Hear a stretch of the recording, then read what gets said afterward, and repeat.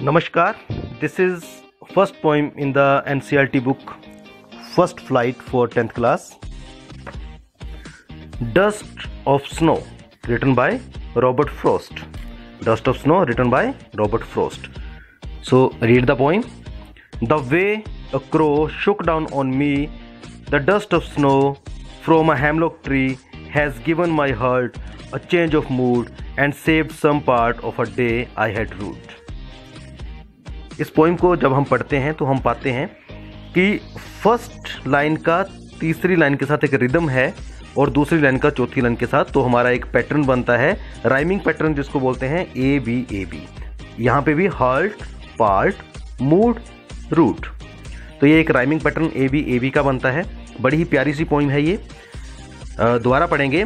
The way a crow shook down on me the dust of snow from a hemlock tree has given my heart a change of mood and saved some part of a day I had root. अब इस poem को अगर हम समझें कि the way a crow shook down on me मेरे ऊपर एक क्रो ने कुछ शुक डाउन किया है मतलब कुछ झाड़ दिया है। क्या झाड़ दिया है? Dust of snow from a hemlock tree एक हैमलॉक ट्री के ऊपर जो स्नो की डस्ट पड़ी थी मतलब स्मॉल पार्टिकल्स ऑफ़ स्नो आपने देखा होगा? बारिश होती है जब या स्नो पड़ती है तो पेड़ों के ऊपर जम जाती है, उसको हिलाएँ तो नीचे बारिश सी हो जाती है।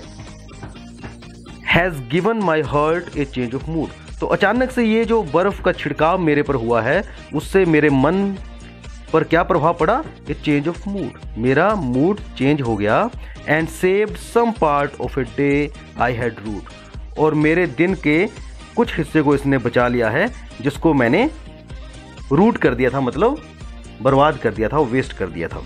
तो अब इस पॉइंट को पढ़ने के बाद हम ये समझ पा रहे हैं अंतिम लाइनों से कि दिन वेस्ट हो रहा था मूड चेंज हुआ। इसका मतलब ये हुआ the poet was in a sad mood और उसको रिग्रेट हो रहा था, पश्चाताप हो रहा था that he had ruined his day तभी अचानक से क्या हुआ? एक कौआ आया जो हेमलॉक ट्री की शाखा पर बैठा और डस्ट ऑफ़ स्नो उसके ऊपर पड़ी और अचानक से उनका मूड चेंज हो गया। तो यहाँ पर आप देखिए रॉबर्ट फ्रोस्ट जो पोइट हैं he is an American poet lived in England and he did a marvellous work in the field of poetry और इनकी ज़्यादातर पोइम्स नेचर से मोटिवेटेड होती हैं। यहाँ पर भी उन्होंने नेचर का प्रयोग किया है crow hemlock tree dust of snow तो आप देखिए क्रो जिसको हम एक ब्लैक कलर का पक्षी और जिसकी आवाज़ भी काफ़ी बिटर मानी जाती है। उसका प्रयोग किया हैवलॉक ट्री एक ऐसा वृक्ष, यहाँ पे नीचे मीनिंग भी दिया है। A poisonous plant a poisonous plant with small white flowers एक ऐसा प्लांट है जिसके ऊपर पॉइजनस फ्रूट लगते हैं। तो उन्होंने यही ट्री यूज़ किया। यहाँ पे ये सिंबॉलिक है क्रो जो कि बैडनेस को दर्शाता है हेमलॉक ट्री भी बैडनेस को दर्शाता है डस्ट ऑफ़ स्नो भी मूड की सैडनेस को दर्शाता है। तो इन ये सारी चीज़ें जब मिलती हैं तो नेचर इन बुरी चीज़ें, बुरी मानी जाने वाली चीज़ें। हालाँकि नेचर में कुछ भी बुरा नहीं होता, अगर क्रो का कलर ब्लैक है या उसकी आवाज़ बिटर है, पर he is very important part of nature जो कि पूरे जंगल को नेचर को साफ़ रखने में हेल्प करता है। हेमलॉक ट्री का अपना महत्व है।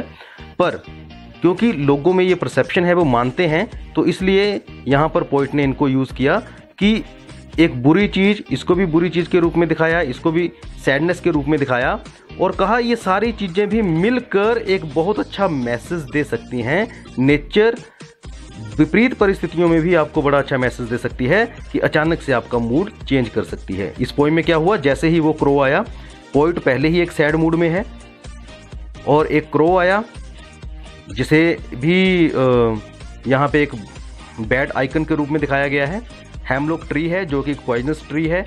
तो इसको भी एक बैड आइकन के रूप में दिखाया गया है। ये दोनों चीज़ें जब आपस में मिली डस्ट ऑफ़ स्नो सैडनेस दिखाई गई है।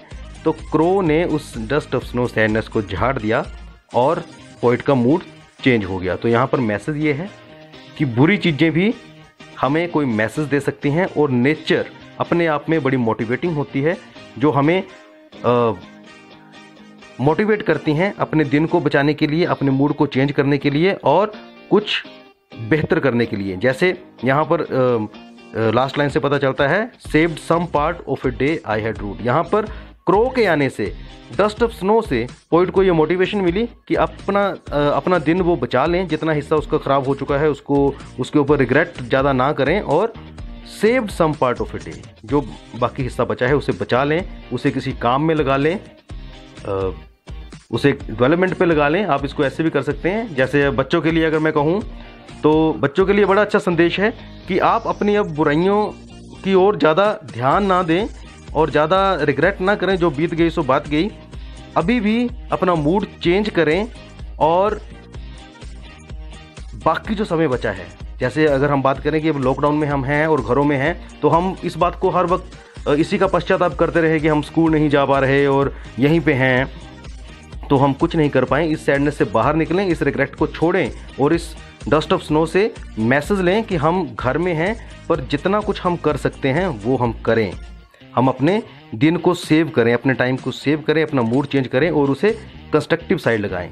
मतलब सकारात्मक रूप से उसका प्रयोग करें, कुछ नया सीखें और समय का सदुपयोग करें। तो ये थी पॉइंट डस्ट ऑफ़ स्नो दोबारा एक बार आपके लिए पढ़ रहा हूँ.